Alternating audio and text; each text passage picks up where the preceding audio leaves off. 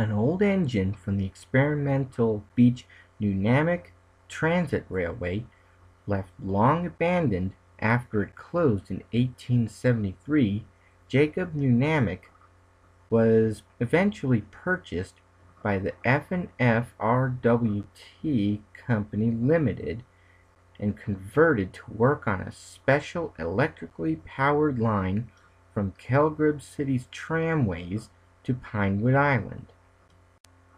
While he works hard, he can be a little pompous about being the only engine to run on the special line and tends to be a little arrogant.